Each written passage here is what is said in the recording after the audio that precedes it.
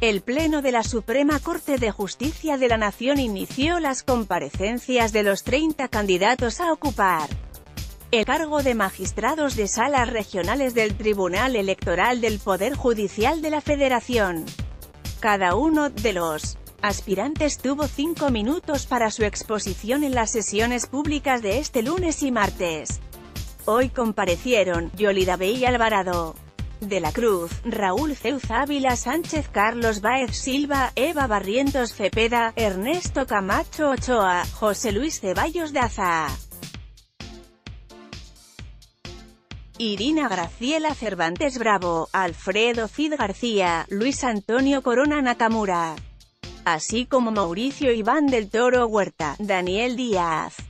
Cuevas, Marcela Elena Fernández Domínguez, Berenice García Guante, Socorro Roxana García Moreno, Marcia Laura Garza Robles, Mara Gómez Pérez Salvador, Andrés González Bárcena y Sergio Arturo Guerrero Olvera. Este martes se espera la comparecencia de Mónica Arcelia Guicho González Carlos.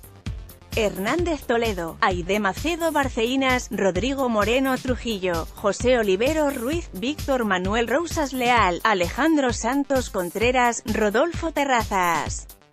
Salgado, Carlos Vargas Vaca, Andrés Carlos Vázquez Murillo, Karen Elizabeth Vergara Montufar y Francisco Marcos Zorrilla Mateos. Una vez terminadas, las comparecencias, se elegirán a los 15 finalistas, y el próximo jueves, el alto tribunal aprobará las cinco ternas que serán enviadas al Senado de la República. Las ternas serán publicadas en el Diario Oficial de la Federación y en el Semanario Judicial de la Federación y su Gaceta. Política Mi compromiso es ser independiente y objetiva.